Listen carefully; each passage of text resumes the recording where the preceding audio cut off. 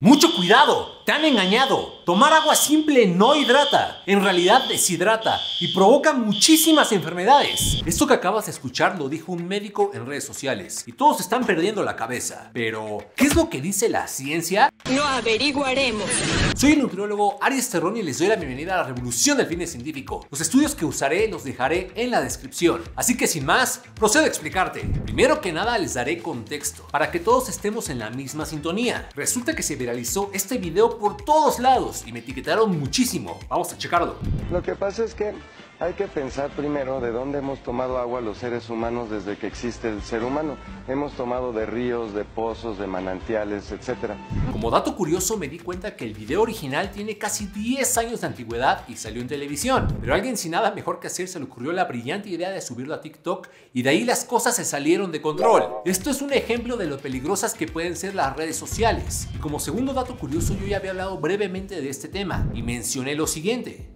También otro método de alimentación que estuvo a nada de entrar al top es uno que proclama que el agua deshidrata, porque supuestamente el agua simple está muerta y por eso hay que agregarle un bonche de sal, lo cual es totalmente ridículo. Desgraciadamente, ahora sí que es conocida esta tontería y mi responsabilidad con todos ustedes es que los charlatanes no se los mareen con patrañas peligrosas para su salud, porque en verdad lo que verán a continuación es un atentado contra la salud. Jamás había escuchado algo igual. Pero antes que nada los invito a suscribirse y activar la campanita de notificaciones si es que aún no lo han hecho. Cada vez estamos más cerca del millón. Y por fin podré cambiar mi Twingo y reloj Casio.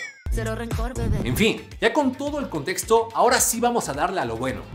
Pero ¿cuál es la cantidad adecuada? ¿Qué pasa si tomamos poca agua o qué ocurre si tomamos agua en exceso? Para aclararnos todas las dudas que tienen que ver con el vital líquido, nos acompaña David Duarte. Él es médico cirujano y homeópata por el Instituto Politécnico Nacional y especialista en medicina por la Universidad de Nueva Delhi. Ahí voy a ir a Nueva Delhi.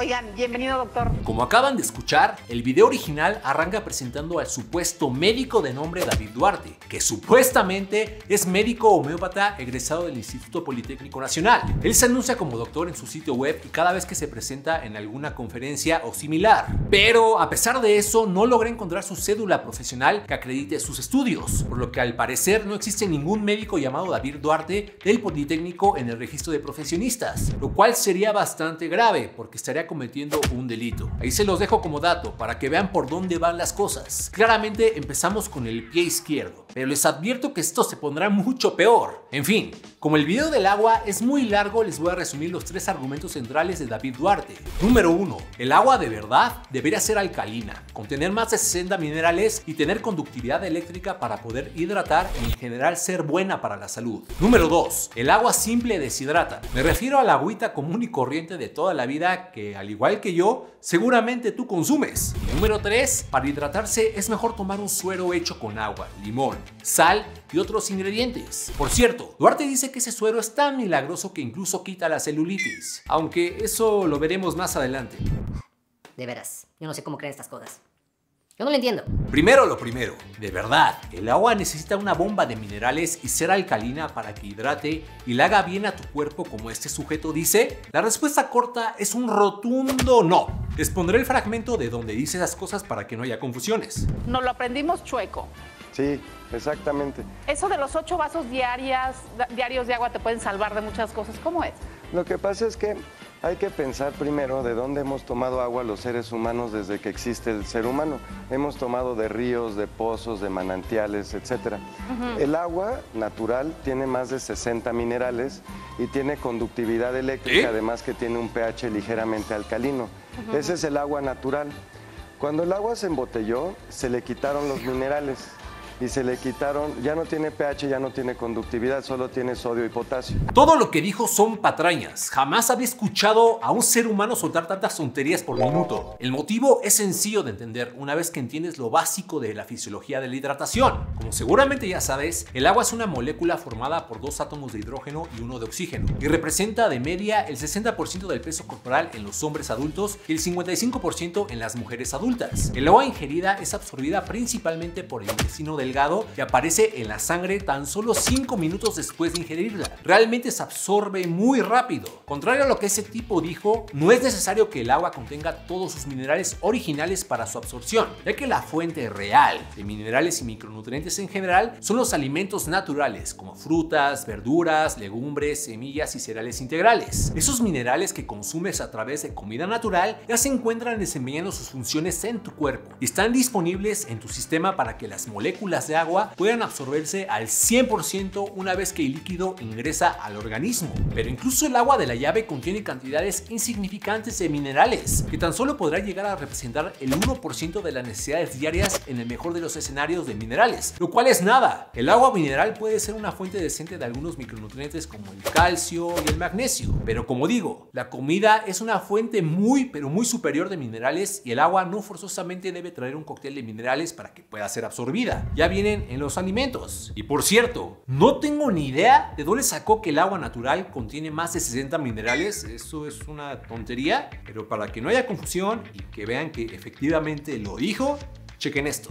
Debería de tener más de 60 minerales y tiene dos y a la mitad. Más de 60 minerales, pero ¿de qué habla este tipo? Eso es del primer semestre de la carrera de nutrición, es súper básico. Para propósitos de nutrición humana, ¿qué es lo que importa aquí? Estamos hablando de agua ingerida por humanos. Existen dos tipos de minerales, los macro y los micro que tu cuerpo necesita en mayores y menores cantidades respectivamente y también basado en el grado de su ocurrencia en el cuerpo. Los macrominerales son el calcio, cloro, magnesio, potasio, fósforo, sodio y azufre. Y los microminerales son el cromo, cobalto, cobre, flúor, yodo, hierro, manganeso, molibdeno, selenio y zinc. Si sumamos todos esos nos da como resultado 17 minerales. Entonces, ¿de dónde saca los 43 restantes? Matemáticas, hijo. Ah, y todavía dice que son más de 60 minerales, ¿eh? O sea, chequen eso. Este tipo ni siquiera sabe lo más básico de nutrición y todavía tiene el descaro de salir en televisión a decir que el agua deshidrata y de paso recomendar una bomba de sodio en su lugar. No hay nada más peligroso que un ignorante con iniciativa. Aunque el dicho original va con otra palabra, solo que no lo puedo decir porque me tumban el video. Y es falso que el agua simple no tiene conductividad eléctrica, porque contrario a lo que dice Duarte, el agua simple de toda la vida sigue teniendo minerales que le otorgan esa característica. El contenido de minerales del agua simple será mayor o menor dependiendo de varios factores, como el tipo de procesamiento al que haya sido sometida el agua y la ubicación geográfica. De eso dependerá su contenido de minerales. Para que la electricidad fluya a través de un líquido, debe haber un movimiento de carga a través del líquido. Es decir, para que la premisa de que el agua no conduce electricidad fuera cierta, tendrá que ser agua totalmente desionizada por medio de técnicas sofisticadas de laboratorio, que no tiene nada que ver con el agua potable común y corriente. Y si Duarte tiene dudas de si el agua simple conduce electricidad, lo invito a llenar una tinita con garrafones de agua comercial y después soltar una tostadora conectada a la corriente eléctrica, digo, para ver si electrocuta o no. Ahí salimos de dudas. Sería un experimento muy interesante. Usted es diabólico. Pero ya en serio, la realidad es que el agua potable común y corriente de toda la vida es una maravilla. Pasa por procesos que eliminan peligrosos microorganismos, toxinas, metales pesados y elementos indeseables de todo tipo que atentan contra tu salud de verdad. Y si el precio a pagar es quitarle algunos minerales, está bien, es un trato más que justo. Prefiero eso, arsénico, plomo y bacterias que, para que veas,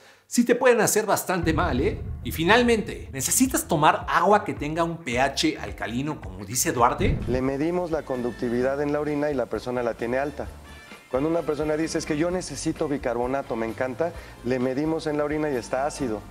O sea, es increíble, digo, el cuerpo sabe perfectamente lo que necesita. Las aguas milagrosas de todo el mundo, de todo el mundo que hay aguas milagrosas, tienen conductividad alta y un pH alcalino. Por eso curan. A ver, seré muy directo. El agua alcalina es un invento de la pseudociencia que no cuenta con respaldo serio, como lo dice la clínica Mayo. Para la gran mayoría de las personas, el agua común es una mejor opción. No hay más. No necesitas gastar tu dinero a lo baboso. Sobre todo tomando en cuenta que en México ya se demostró por la Profeco que la gran mayoría de marcas de agua alcalina no son alcalinas y son una completa pérdida de dinero. No están bien reguladas. Además de que simplemente tomar agua alcalina es un sinsentido Es cuestión de abrir un libro de fisiología humana, estudiale. Tu alimentación no va a cambiar el pH de tu sangre. Y esto incluye al agua alcalina. La evidencia científica lo comprueba y existen muchísimos estudios. La dieta alcalina y el agua alcalina son patrañas. Pero es que solo hace falta un poquito de lógica. ¿Qué sentido tiene consumir un agua alcalina con un pH de 8.5 para que termine cayendo en un medio naturalmente ácido como es el estómago con un pH entre 1.5 a 3.5? No tiene sentido. Aunque siendo justos, el agua alcalina tiene un uso potencial y preliminar en personas con reflujo, pero es evidencia muy débil in vitro y se necesita mucha más investigación para poder afirmar cualquier posible beneficio. Y ojo, aunque tuviéramos la posibilidad de cambiar el pH sanguíneo a través de la alimentación, sería una pésima idea, ya que enfermarías gravemente e incluso podrías acabar con tu vida. El pH de tu sangre está estrictamente regulado a un rango saludable por un sistema buffer incorporado en tu cuerpo, que incluye a tus pulmones y riñones dentro de otros órganos sumamente eficientes para ese proceso. Por lo tanto, el argumento de que el agua debe ser alcalina es una completa estupidez y en general la dieta alcalina es pseudociencia, así como todo lo que dice este sujeto. Ahora vamos con lo segundo. ¿El agua simple deshidrata? Por más ridículo que pueda llegar a sonar esto, es verdad que este sujeto lo dijo. Y bueno, pues chequen esto. ¿Qué es lo que ocurre cuando tomamos agua? Sigues tomando agua. Tomas un poquito, tomas un litro y tienes sed y sed y sed y ya no dejas de tomar agua, porque Sí. el agua deshidrata. Porque en realidad lo que te hidrata...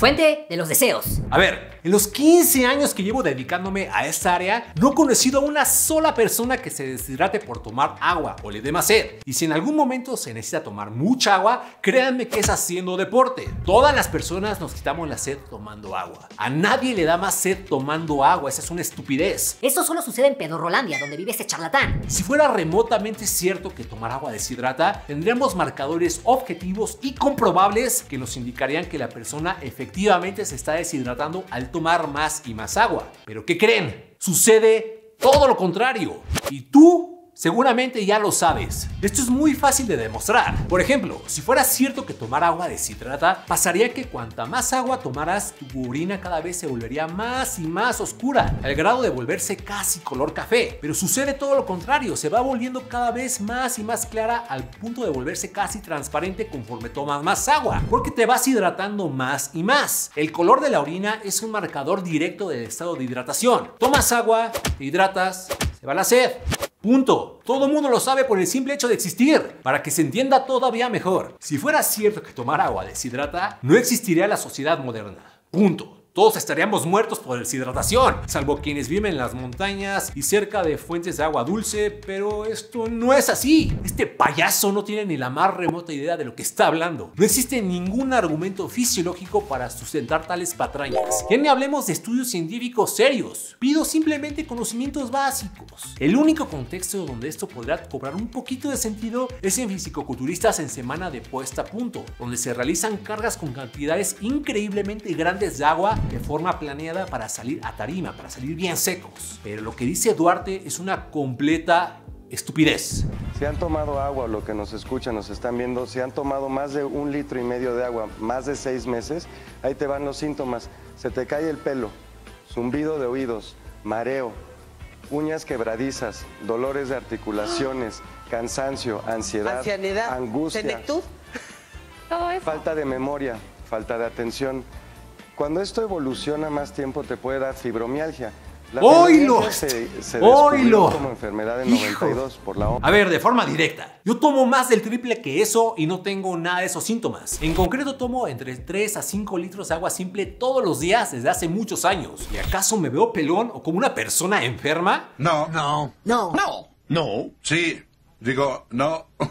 no. Una vez más, Duarte no tiene ni idea de lo que está hablando y por supuesto que no es capaz de presentar ningún estudio científico serio que sustente sus patrañas. Tomar agua simple no provoca ninguno de esos síntomas, por amor a Dios. No hay ninguna evidencia de ello, no tiene ninguna lógica. Y de hecho, ese ni siquiera es el cuadro de alguien deshidratado. Digo, para acabarla de fregar. Simplemente menciona una serie de síntomas genéricos comunes en la población que pueden ser por mil cosas. Para que aquellos con esas dolencias se sugestionen al escucharlo y se sientan sientan identificados con su narrativa. Y así Duarte pueda lucrar con la ignorancia y desesperación de esas personas. Y así acaparar incautos. Básicamente Duarte aplica la misma táctica que los horóscopos, donde se utilizan generalizaciones que se adaptan a casi cualquier persona. Es como cuando dicen en la radio que Tauro tendrá problemas financieros o que Virgo sufrirá una decepción amorosa. Pues ¿quién carajos no podría sentirse identificado con eso? Al igual como cuando Duarte menciona dolor articular, caída de cabello y fibromialgia. Esa es la misma estrategia. A eso se le conoce como efecto Y ahora vamos con el último punto. ¿Es mejor tomar un suero casero en lugar de agua simple? Escuchen esta babosada que les voy a poner a continuación. ¿Qué tendríamos que tomar entonces? Es muy sencillo, puedes mejor? tomar cualquier suero, el que sea cualquier suero comercial. Y yo lo que recomiendo para que esté más rico y sea más saludable es un suero casero. Simplemente es agua de limón Ajá. con miel de abeja, sal de mar y bicarbonato. Esta recomendación es súper peligrosa porque básicamente está recomendando una bomba de sodio y azúcar a la gente incluso enferma. Voy a ponerlo en perspectiva para que se pueda entender la gravedad del asunto. Una sola dosis de bicarbonato puede representar fácilmente el 200% o más de la ingesta diaria recomendada de sodio. Y si eso le sumas la sal de mar, fácilmente se duplica o triplica el sodio, dependiendo de cuánto le eche la persona en cuestión. Recordemos que el sodio es un nutriente crítico y por algo existen los sellos de advertencia. Es súper fácil excederse en el consumo de sodio y por lo tanto incrementar el riesgo de padecer diversas enfermedades. Notablemente puede subir la presión arterial y aumentar el riesgo de enfermedades cardiovasculares. Los requerimientos de sodio se logran muy fácilmente con la sal que se usa para preparar los alimentos y con lo que ya contiene la comida natural, así en su estado puro. De hecho, el exceso de sodio proviene principalmente de los ultraprocesados, por lo que usar sal para guisar está bien mientras le bajes a la chatarra. Pero por amor a Dios, nadie necesita echarle sal y bicarbonato al agua. Eso fácilmente explotaría los riñones de cualquier persona si lo adopta como un hábito. Ahora, la miel de abeja sigue siendo azúcar. Y es el claro ejemplo de que lo natural no siempre es sinónimo de ser saludable. Básicamente lo mismo. Por lo que recomendar ese suero casero en televisión es irresponsable y es un atentado directo en contra de la salud de las personas. Esa recomendación de agua con limón, sal y bicarbonato podría ser un poco de sentido para deportistas sanos, sanos, que entrenan en condiciones cálidas, ya que los requerimientos de sodio en ellos son mayores a los demás debido a las altas tasas de sudoración. Pero así salir nomás en un programa y decir esas barbaridades para el público general debería ser multado como mínimo. Y si tuviera cédula seguramente ya se lo hubieran quitado. Pero es que lo lleva todavía a un nivel más ridículo. Escuchen esta estupidez. Se te quita la celulitis. Llegas a A ver, repítenos. Agua de limón. Ay, nos convenciste. Repítanos. ¿Por qué te da- Enorme, vámonos por ahí. ¿Por, por qué te da celulitis? Es una hinchazón de tus células. Ajá. Cuando eso le pasa, la celulitis en la sangre, imagínate. Celulitis los en la sangre. Que tuvieran celulitis. ¿De qué estás hablando? flaquitos como donas, Hijo. se hacen gordos. En lugar de vivir 127 días, viven 60 días. Entonces te puede dar anemia por tomar agua. Toma demasiada agua. Y eso te da mucho cansancio. Ok. Entonces haces y haces ejercicio, tomas y tomas agua y cada vez estás más cansado. Vas al doctor y te dicen, no, es que es estrés. Conocimientos básicos de la fisiología de la mujer, cero. Está de más decir que esto es totalmente falso. La celulitis de hecho es algo normal en las mujeres y no se quita tomando una bomba de sodio, es todo lo contrario de hecho. Si hay un excedente de masa adiposa hay que mejorar hábitos, tomar agüita simple, hacer ejercicio y comer saludable. Generar un déficit calórico sostenido en el tiempo reduce el tejido adiposo. No hay más, pero cierto grado de celulitis es completamente normal. No se dejen engañar por las fit influencers. Su ejemplo de la celulitis en la sangre ni siquiera tiene sentido y es algo ridículo. Y por si fuera poco, chequen lo siguiente. Si vas a tomar agua de, haz de cuenta, para los niños que no les encanta el suero, les das un juguito de naranja, ponle sal y bicarbonato.